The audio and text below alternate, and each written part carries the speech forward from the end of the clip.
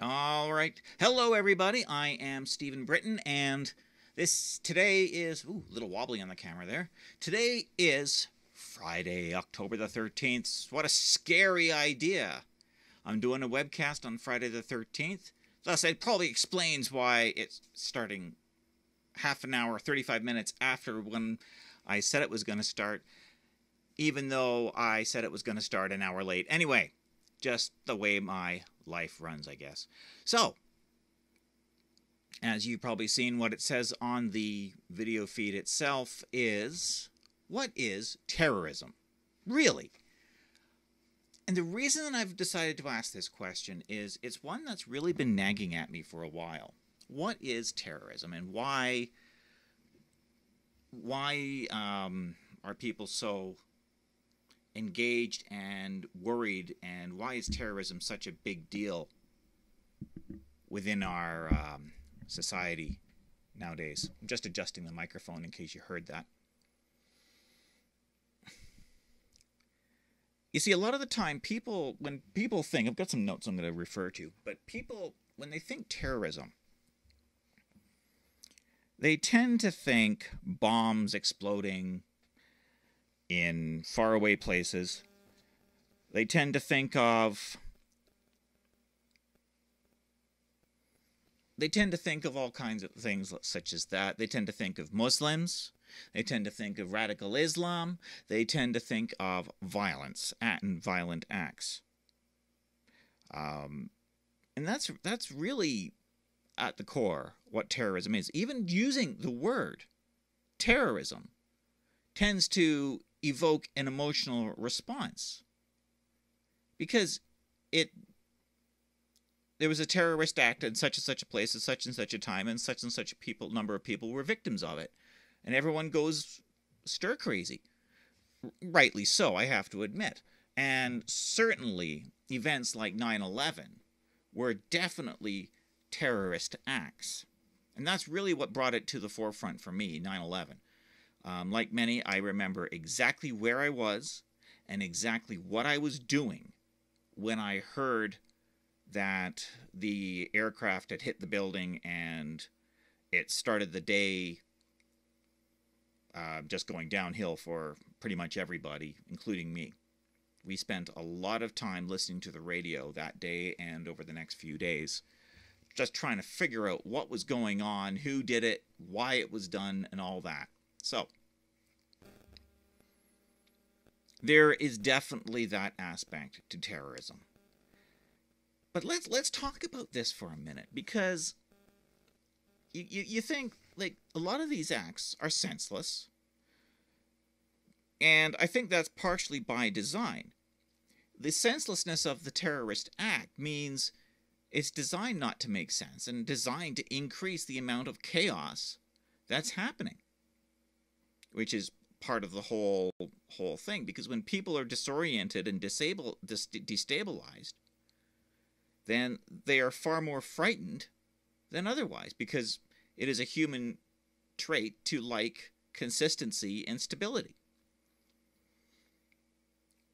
So there's there's that aspect to it as well.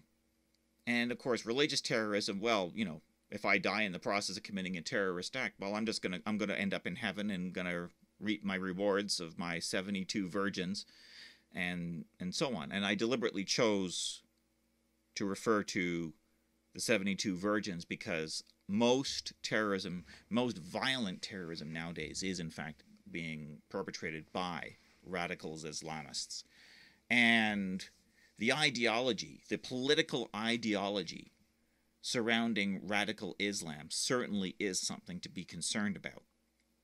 Now, that doesn't mean if you're a Muslim, I think you're a terrorist, because quite obviously I don't. Um, personally, I've had a lot of relationships with um, a very large number of Muslim people. We agree on much, we disagree on much, and we have a lot of laughs in the middle the Muslims that I personally know are a great bunch of people. I have not met a more welcoming and more hospitable group of people. And quite frankly, these people that I know who are Muslim are very respectful of the diversity of faith within not only their own community, Don't forget, there's Shia, there's Sunni, there's Sufi, there's Ahmadiyya, there's um, Ismaili. There's a whole bunch of Islamic schools within the Islamic um, belief set. And of course, so they're respectful amongst themselves because they themselves come from a wide range of belief systems and schools of thought. But as well, they're very respectful of the Christians and the atheists amongst their circles of friends as well. So, my point is, and I'm going to get back to terrorism here, but my point is my personal experience contradicts what a lot of people say about Muslims in general. So I don't think it's fair to say that Muslim equals terrorist. I think it's fair to say that Islam may be predisposed to terrorist acts based on the ideology associated with it. But I think a lot of people around the world have a very strong moral sense of right and wrong. And I think that is a guiding influence of most people that you come in contact with. And that is one of the things that I wanted to talk about a bit later on as well regarding fighting terrorism. How to fight terrorism and how to deal with it because the only way to really circumvent and defeat terrorism is to not be afraid. Because and to and to live your life unaffected. Because quite frankly, that is the aim of terrorism. Modification of behavior, or also known as influence, through fear. Because think about it.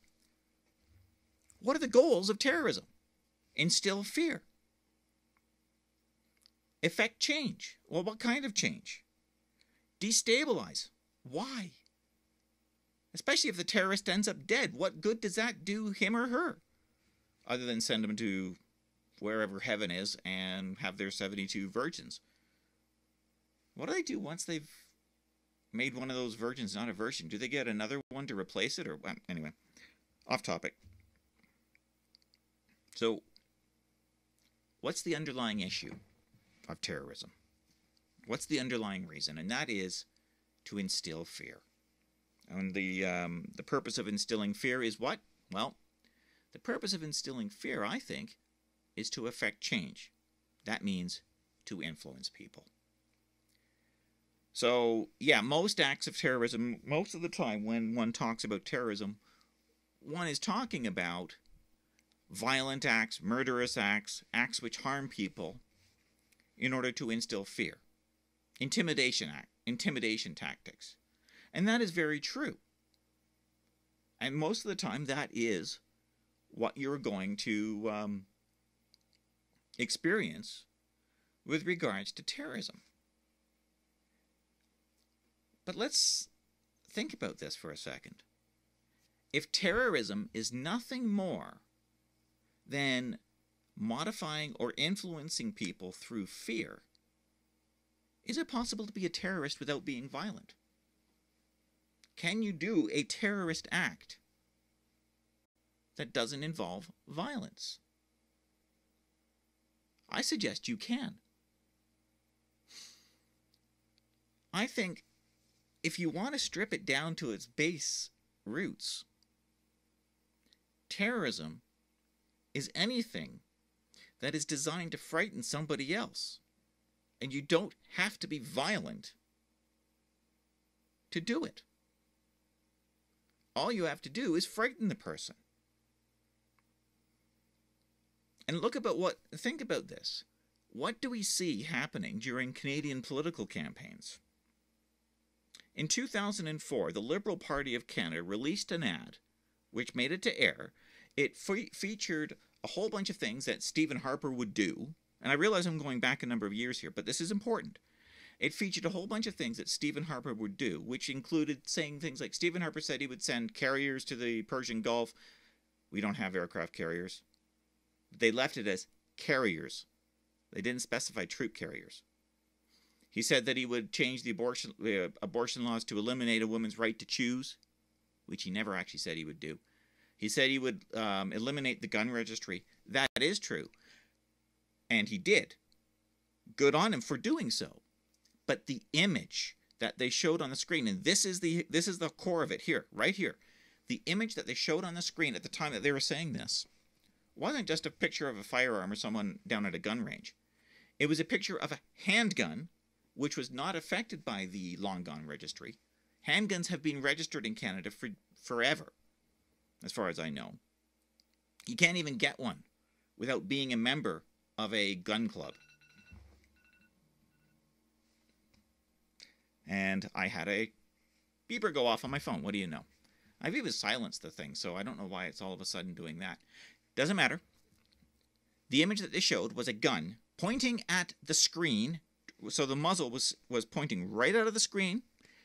And as the um, at the end of the shot, the gun jerked. The finger was on the trigger. The gun jerked up, and a white flash came out of the muzzle, which covered the screen. In other words, the Liberal Party of Canada just shot you, the viewer. And that is most definitely a threat about it was a threat saying you elect Stephen Harper, you're going to get shot because everyone will be carrying handguns because there won't be any gun restrictions anymore. None of which was true. But it was certainly designed to instill fear and influence people through that fear.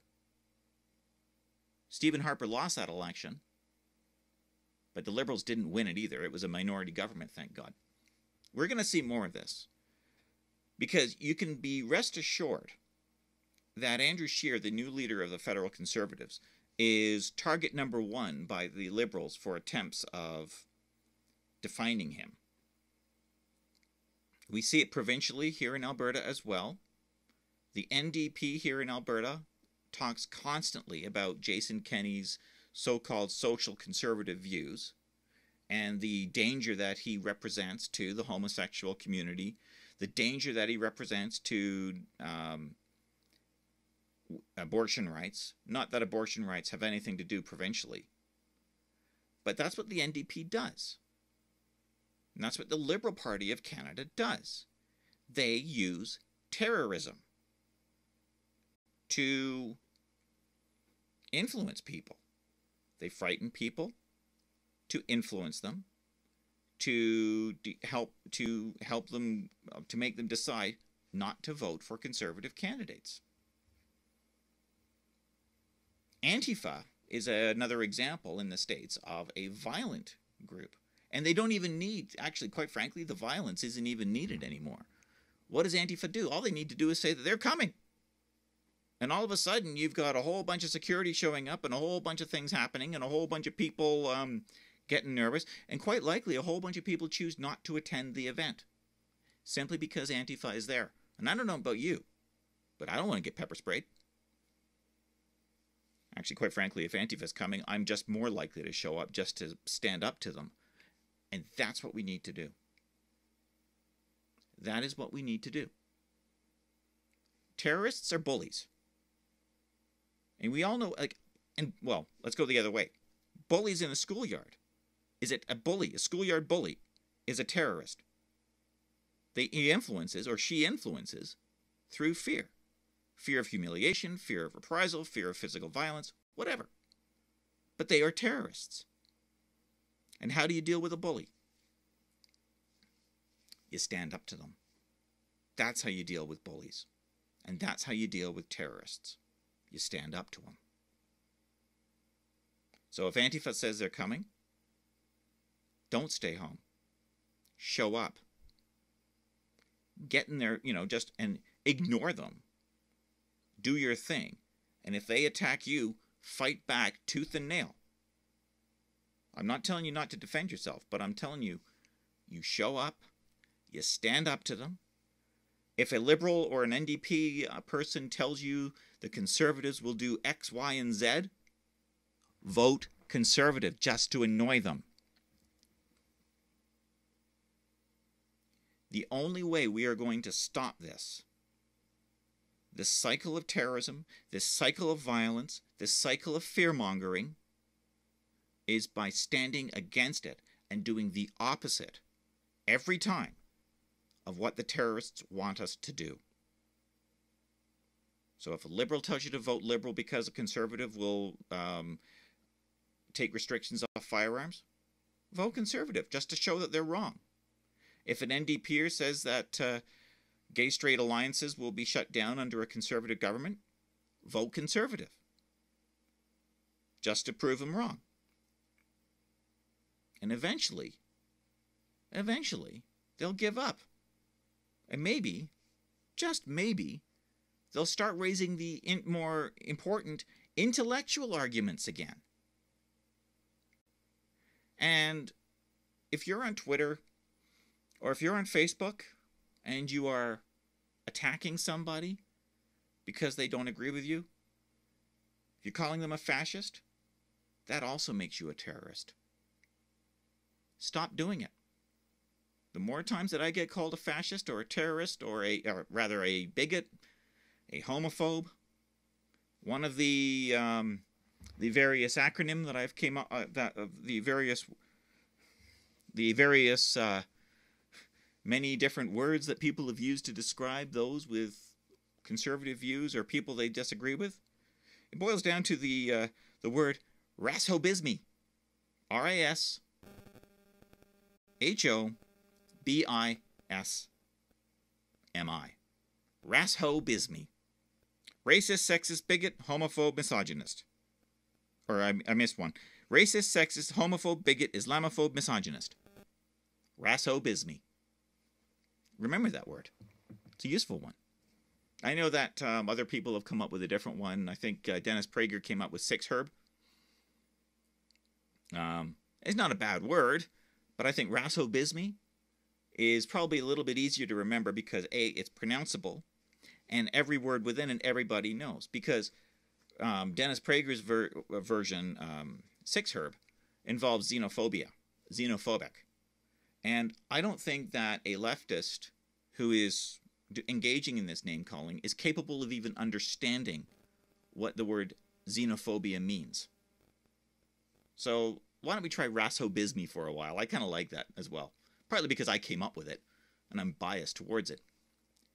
So every time that you're referred to as one of those words, raso in in rashobismi or SIXHIRB, you stand up to him, fight back, tooth and nail, and don't let him win.